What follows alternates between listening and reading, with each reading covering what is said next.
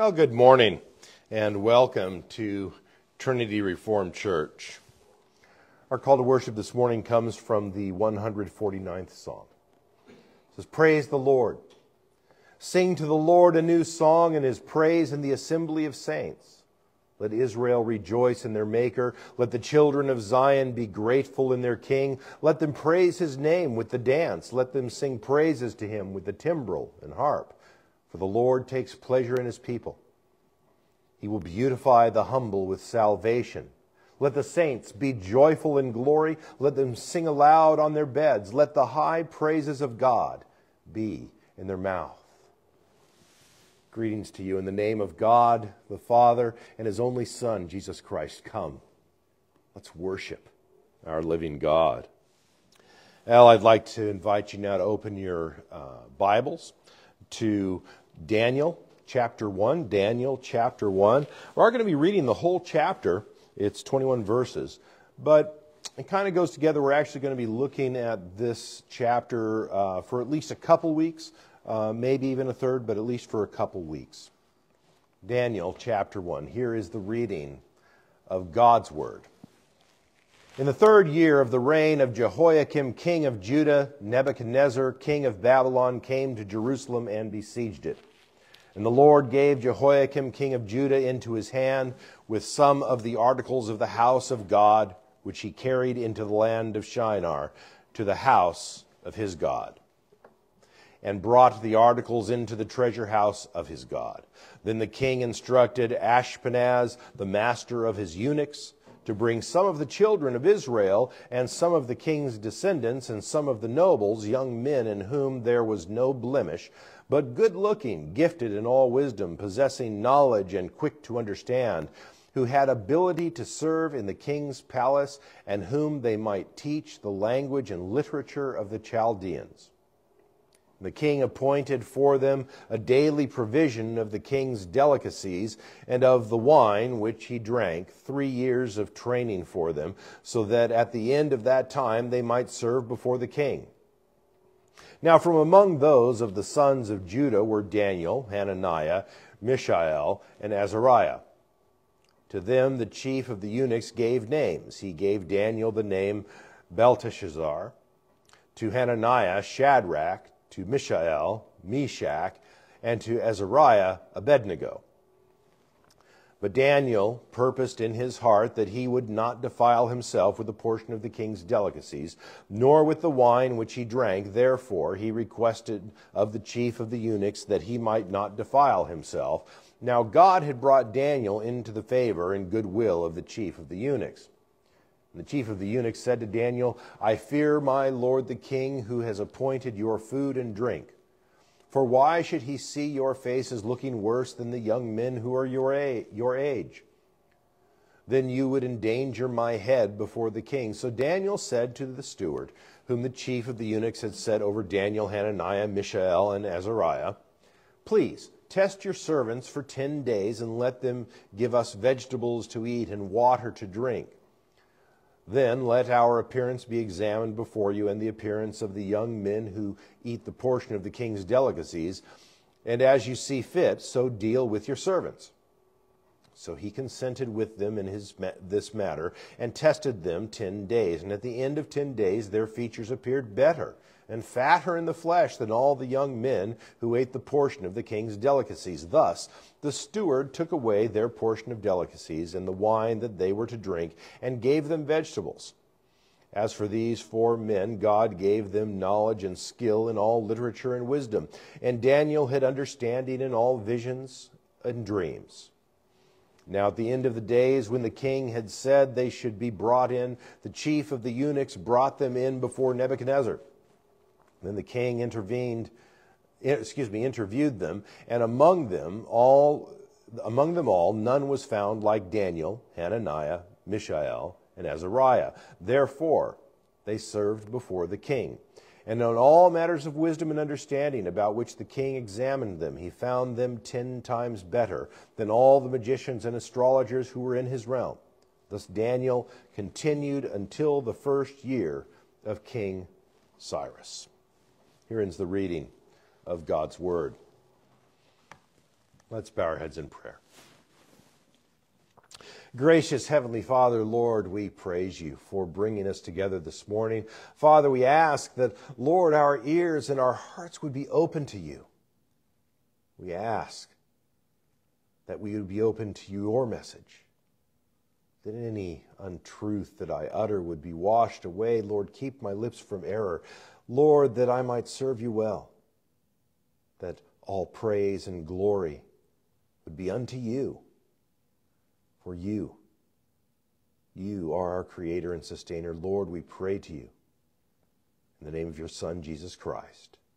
Amen. Daniel's a unique book within the Bible. The Jews didn't lump this book in with the prophetic books. They had categories of major and minor prophets, just as we still do today. But Daniel was found in the Jewish Bible in what are called the writings, which were placed at the end of the list. They believed that this book was, in fact, the Word of God, but they didn't consider Daniel a prophet. To the Jewish mind, a prophet was strictly the go between between God and his people.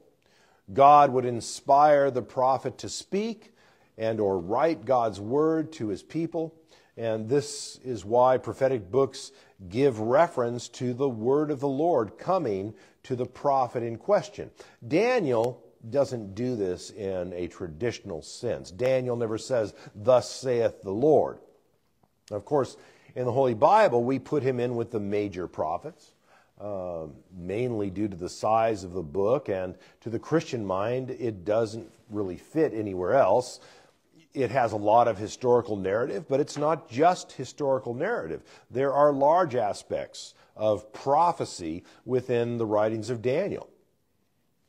but much of this prophecy in Daniel is foretelling, predicting, or interpreting the future yet to come as uh, the prophet was used by God. Now, most biblical prophecy is what's called forthtelling. It's declaring the will of God. It's when the prophet says, Thus saith the Lord, you know, tear down your altars, get rid of your idols, come and worship me, or God is going to punish you. Forthtelling is the greatest aspect of the prophecy we see. As I said, it's what comes after the words, Thus saith the Lord. This is something that Daniel doesn't do, and that's why the Jews didn't view him as a prophet. What Daniel does do is live a devout life in the service of the Lord in some of the most trying times possible. And Daniel's account of the events surrounding his life should be of great encouragement to all Christians that find themselves in similar circumstances. Now, Daniel was taken into exile when he was young by the Babylonians in 605 BC. And this book was written shortly after, or little after 539 BC, in the capture of Babylon by Cyrus. Now, there is some controversy over the date when it was written and the identity of the author, some arguing for a later date during the reign of Antiochus Epiphanes, uh, sometime around 170 BC. This is argued because those who postulate this say that Daniel couldn't have predicted all that he does, or anything for that matter. And so the writing must be historical in nature rather than prophetic.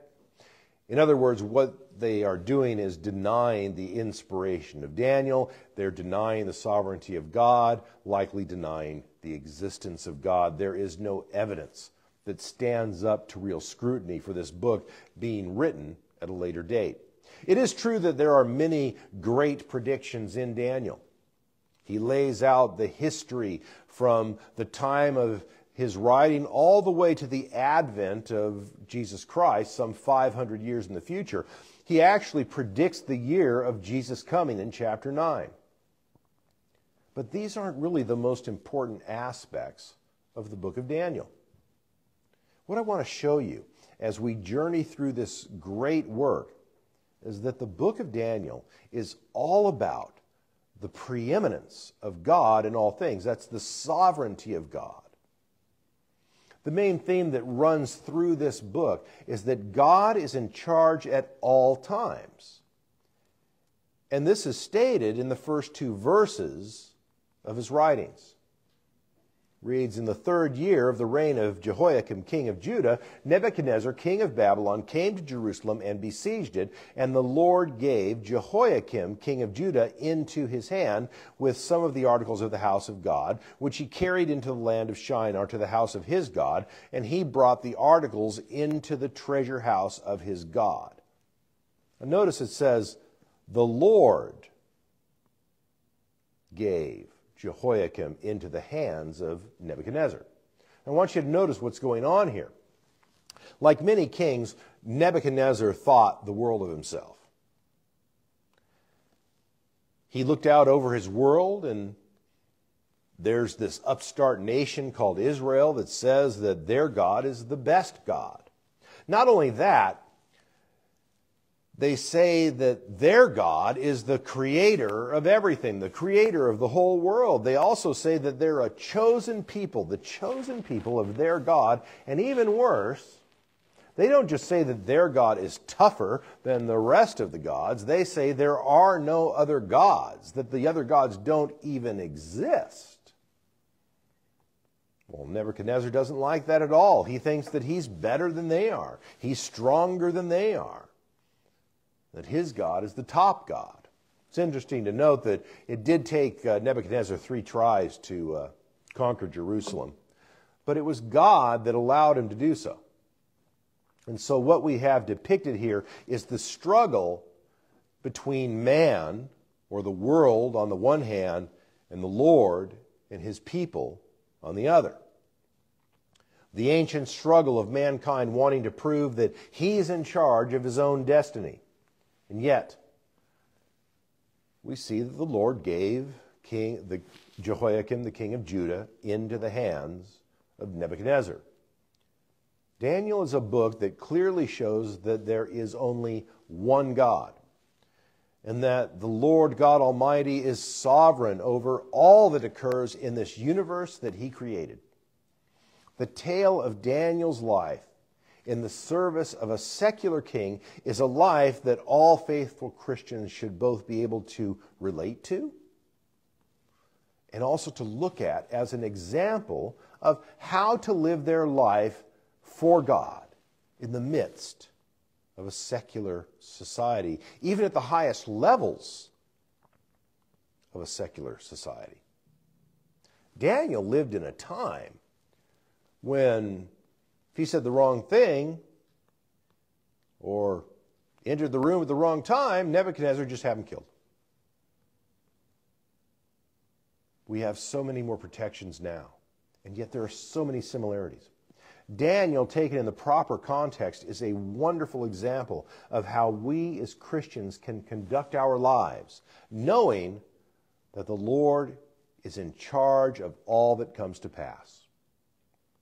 We live in a time that is rife with secular humanism. Secularists think that the world exists for man and his glory rather than God's glory. Nebuchadnezzar was a secular humanist, if there ever was one. Just before he was humiliated by God, he says in chapter 4, verse 30, Is not this great Babylon that I have built a royal dwelling by my mighty power and for the honor of my majesty? On a side note, he wasn't the first Nebuchadnezzar. His father was also named Nebuchadnezzar, and he didn't build it all, but he sure thought he did. Nebuchadnezzar thought he was great.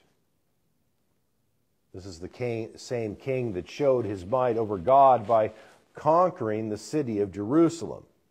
To be fair, his father was king at the time. He was sent by his father to do so, it seems. But that's still under the auspices of the king. And he took temple furnishings out of the temple of God, placed them in his own temple as a sign of being more powerful than the God of Abraham and Isaac and Jacob. Nebuchadnezzar was obsessed with his own glory. That's what the world is obsessed with. Man is obsessed with the glory of man, not the glory of God. Just look at the theory of evolution. Look out on our society today. Have you ever wondered why it's so popular? Why is this the only thing you can teach in the schools? Why are the schools so adamant about it being the only idea of the creation of the universe and the advent of man that must be even discussed? According to the theories surrounding evolution, everything is in direct relation to everything else. The thing that came before is the cause of the thing that comes after, and so on and so on, so that if you follow it to its reasonable end, everything can be known. And predictions, even of the future, can be made just by following the causal relationships. It's not God that defines creation anymore. It's man. In the theory of evolution, only the strong survive, and so man, being the strongest, is the top of the food chain. It is man that gets all the glory. Evolution eliminates God from consideration. James Boice uh, said, uh, Evolution allows man to be the center of the universe. Another example of the arrogance of man is the separation the church and state as it's seen in our society today. In the book of Daniel, Nebuchadnezzar represents the state. He is the enemy of God. Nebuchadnezzar wants to rule over God and his creation. Daniel, on the other hand, wants to follow the will of God. Daniel is a member of the church, the ecclesia, those called out by God. When the doctrine of the separation of the church and state was formulated, it simply meant that the church and state functioned separately.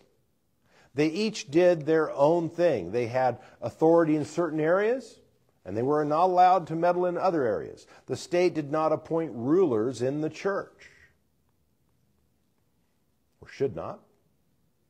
And the, the church should not rule over secular society which means worldly society.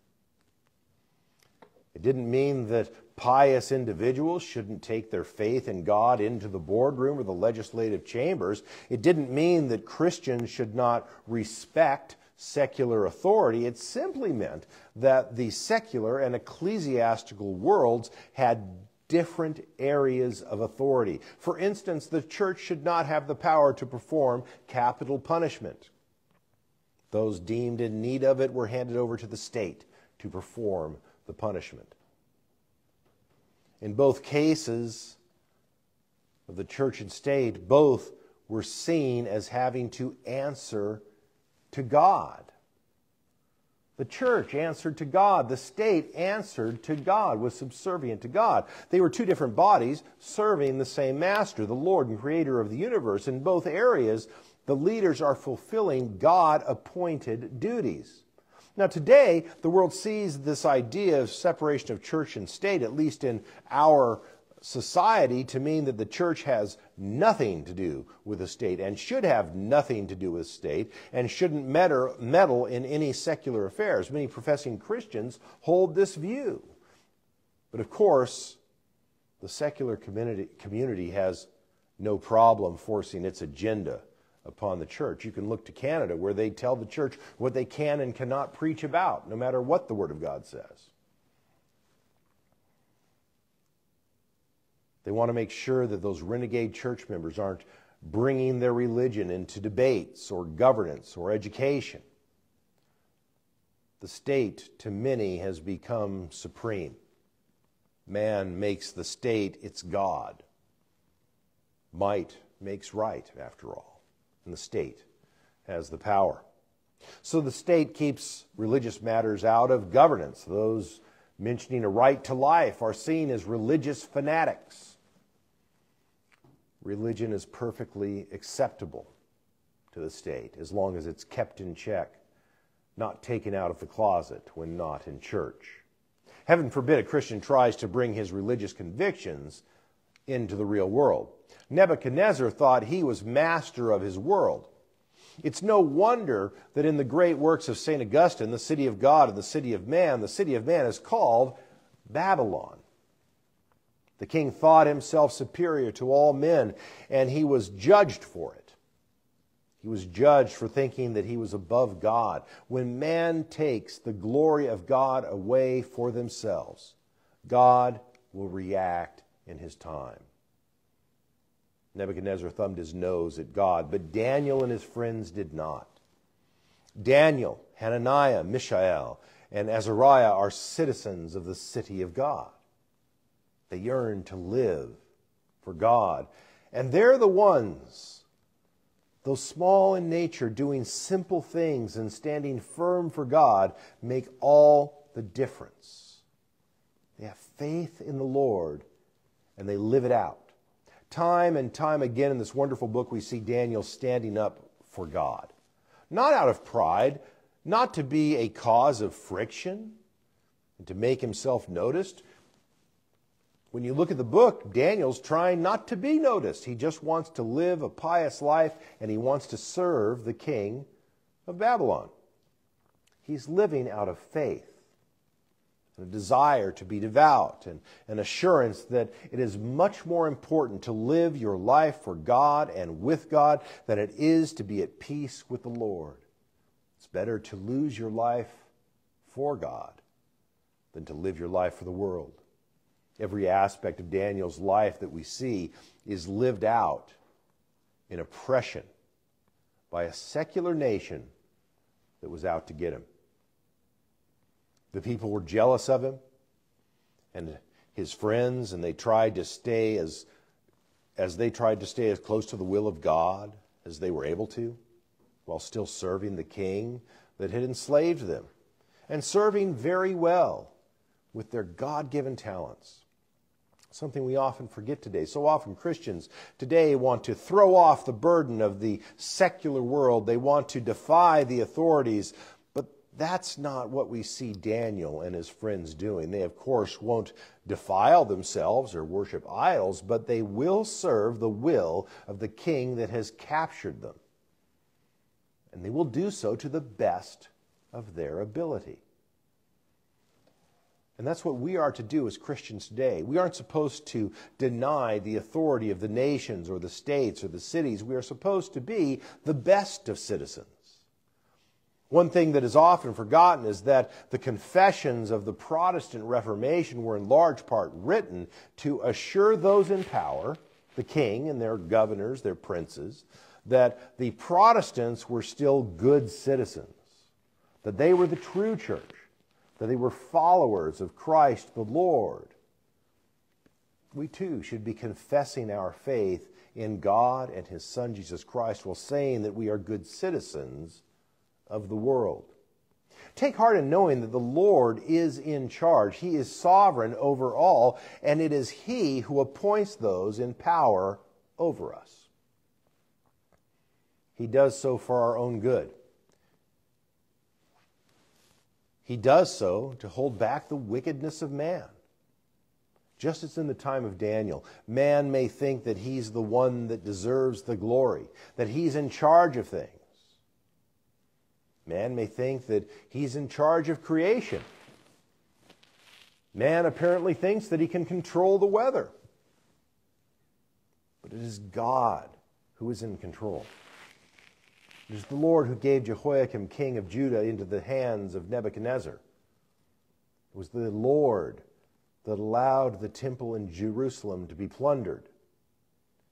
Men may fool themselves into thinking that they have eternal glory they may fool themselves into thinking that they are God, but they will n- never be God. They will never be in charge of creation. They will never have that eternal glory they so yearn for. Those that detract from an early date of authorship say that the book of Daniel must have been written later by someone unknown using a pseudonym and that it must have been written during the time of Antiochus Epiphanes. I bring this up because of his name. Antiochus Epiphanes means Antiochus, God manifest. Just as many rulers did in ancient times and still do today, Antiochus thought he was God. He thought he was divine. I think Nebuchadnezzar thought that he was as close to a god as you could get. But he was just a man, a man in rebellion against God, a man in rebellion receives condemnation.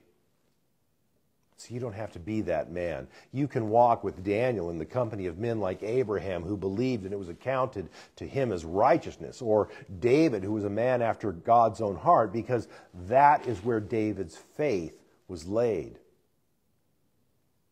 They were all looking for God. They were all looking to God. They were praising their God.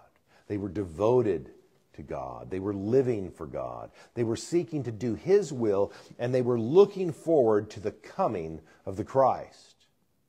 And you can be in their company by placing your faith in Jesus Christ, your Lord and Savior, if only you believe and trust in Him. And His kingdom is yours. Daniel's writings ring just as true today as they did over 2,500 years ago because they are the Word of God. He's the Lord God Almighty, creator of heaven and earth, the Lord of all creation. Come to Him. Believe in Him and live through His Son, Jesus Christ. For the Lord takes pleasure in His people. He will beautify the humble with salvation. Psalm 149, verse 4. Come to Him. Leave this world behind. Receive salvation through Jesus Christ, your Lord. Amen. Let's pray. Gracious Heavenly Father, Lord, we are amazed by your sovereignty, by your might. Lord, never let us forget that you are in charge no matter what happens, no matter the trials that we face, no matter the oppression of this life, you are in charge. You are sovereign over all creation, and we are your children. We live for you. Gracious Father, we pray. In Jesus' name, amen. The Lord bless you and keep you. Lord make his face to shine upon you and be gracious unto you. The Lord lift his countenance upon you and give you peace. Go out to love and serve your Lord Jesus Christ. Amen.